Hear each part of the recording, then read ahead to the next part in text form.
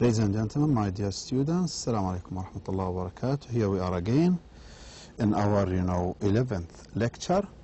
Uh, as you remember, you know, the last lecture, you know, uh, in the last lecture we discussed, you know, two uh, beautiful, interesting, you know, uh, short stories for uh, children, Babes in the Wood, and uh, the other one was The Queen Bee. And as I told you before, these uh, texts, some of these stories, are important for the final exam. Uh, uh, I mean that you have to read the uh, stories so you can answer any question about these stories uh, in the final exam. Because some of the questions might be specific. I mean specific about the text itself, about the characters, about the theme, about you know who does what, who is who, uh, who is where, you know, and you know uh, things like you know uh, these, you know, and then uh, questions might be related to uh, the relations between the characters or the main characters uh, in each story. So in, in today's lecture, lecture 11, we start not a short story. In fact, it's a novel. Okay, a novel, uh, one of the most famous, you know, novels in, uh, uh, in, in, in, children's literature, which is originally an Italian uh, novel. Okay, uh, and you know this uh, novel and was translated, translated into many different languages. Okay, uh, this novel of course is a long one we will not have all of it and uh, it will not be required يعني all uh, so uh, I divided the text of this uh, novel into two lectures اللي هو lecture 11 and lecture 12 uh, or lecture yeah lecture 11 and uh, 12 and 13 so 11 12 and 13 I will uh, talk about the uh, not talk about uh, till in, they include the text the text of the first let's say four, five about five chapters and then and then chapter I mean lecture 13 will uh, include I will uh, have uh, the last four chapters. So we'll have about, let's say, uh, about eight chapters, and they'll be divided into three lectures, uh, 11, uh, 12, 13. And then the last lecture, uh, lecture number 14, will be general discussion about uh, Pinocchio, about the, the, this novel.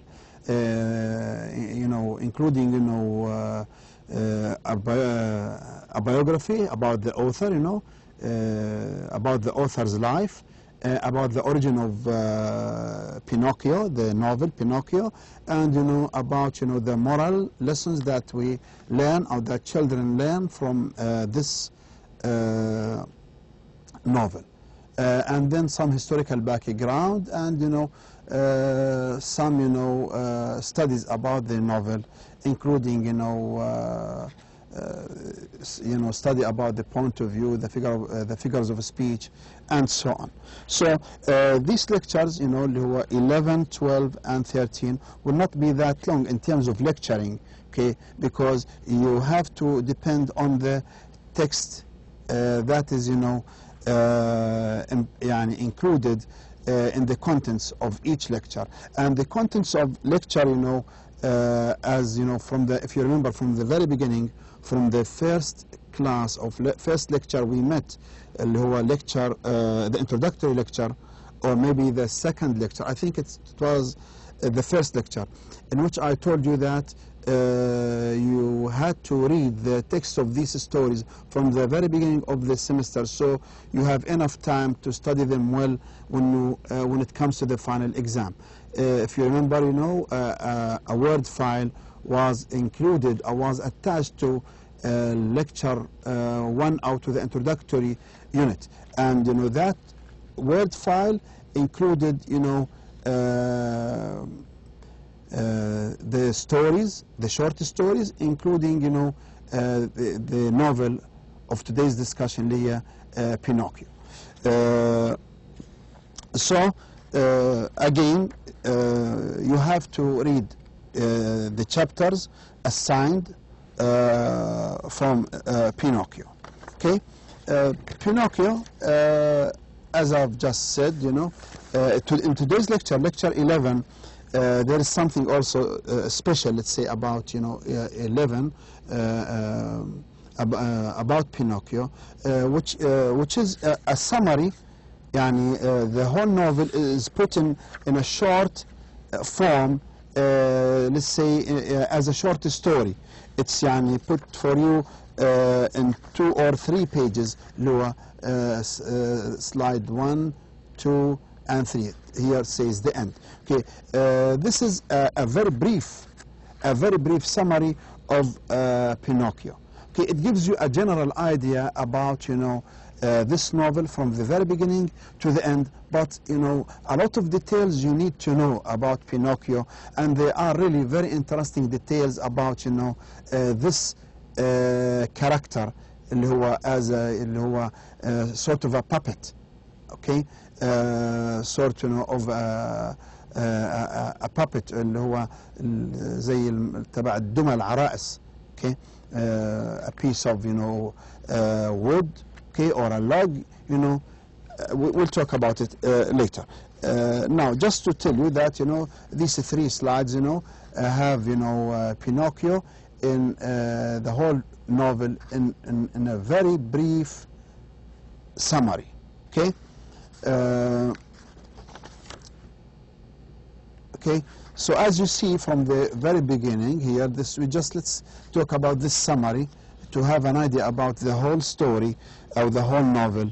Uh, of course you know please remember that uh, anytime you come to uh, any character or any place uh, you have to underline and make sure you know uh, this character who uh, who uh, he or she is and uh, his or her relation to uh, the main characters who are uh, Pinocchio and uh, Geppetto and then also you underline any uh, any name uh, or expression related to the setting, you know, uh, a name of a place or an expression of time, you know, that is all related to setting. So we have to also know these things.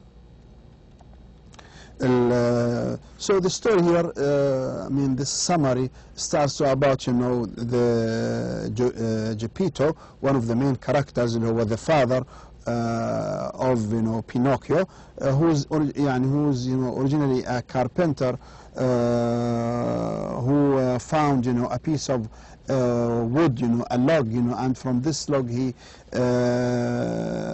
made, you know, a puppet, you know, uh, a form, you know, or a shape of a of a, a, little boy, you know, and you know uh, th- this little boy once, you know, uh, it had, you know. Uh, uh, hands, you know, it hit the, this old man, the father Geppetto once.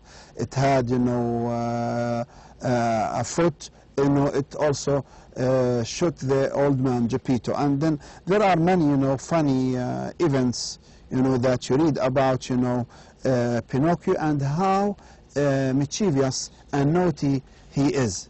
Okay, uh, so the uh, the story here talks about, you know, uh, sort of adventures, you know, or let's say, you know, things that, you know, and experiences that, you know, Pinocchio go, uh, goes through.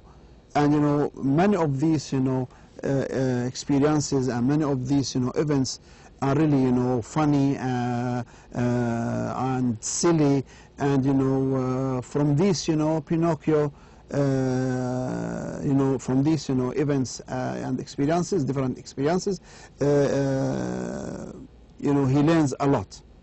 He learns a lot, and he, you know, uh, at the end of the novel, he becomes a grown-up, you know, uh, person, a grown-up uh, boy, and then uh, because he, uh, when at the end of the uh, novel, when he, when he becomes an a, grown-up person, a mature child, a, ma- a mature, you know, boy. Uh, so he becomes a real boy as sort of a reward for not being any more uh, naughty. Okay? So anyway, uh, again and again, I repeat myself here that you need to read the story, I mean the novel, to know يعني, uh, the uh, the details, okay, uh, of the of the of the life of Pinocchio, and you know his adventures, and you know his uh, naughty you know actions and deeds you know uh, with his father uh, Geppetto. Uh, uh, so if you because if you don't read the text you will lose a lot. Uh, while reading please especially when it comes to chapter 1 you know the original text the original text okay as you see here chapter 1 you know uh, you have to look for you know as I've just said characters uh, setting uh, figures of speech and the point of view. So we have in terms of point of view we have as an example here of course it's a third person you know uh, uh, point of view in which you know the writer uses he he tells a story of someone else, you know, he, uh, she, they, okay? But sometimes here we have, you know, uh, the writer, you know, comments on, uh, on the events and introduces, uh, starts, you know, by introducing the, the story for the readers, for the children, and he uses I, he means here the writer.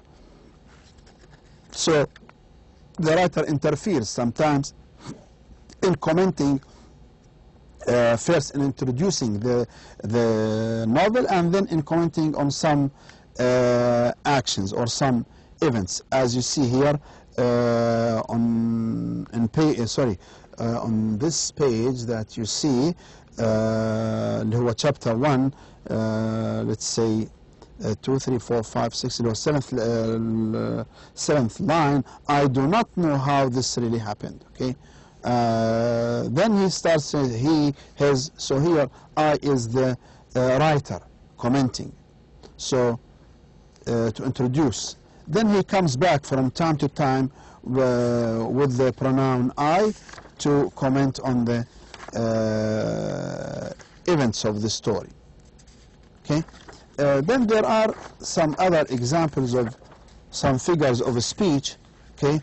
See here, for example, uh, chapter 2, uh, as you see, هو الفirst, sec- the eighth line, I think, you know, uh, says he became. He became as wild as a beast. And uh, no one could, هنا, we have, let's say, uh, he became as a wild beast. Well, this is an example of a figure of speech.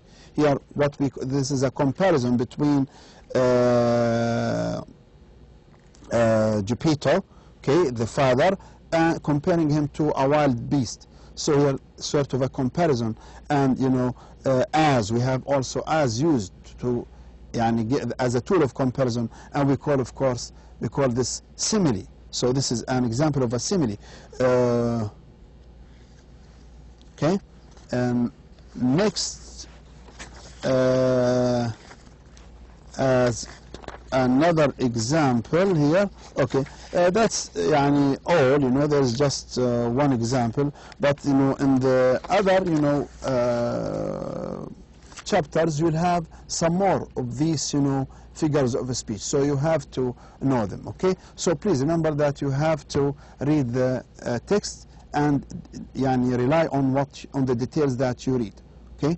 And if there is any question, please let me know uh, through the email. Okay or through any uh, through my email. Okay thank you very much.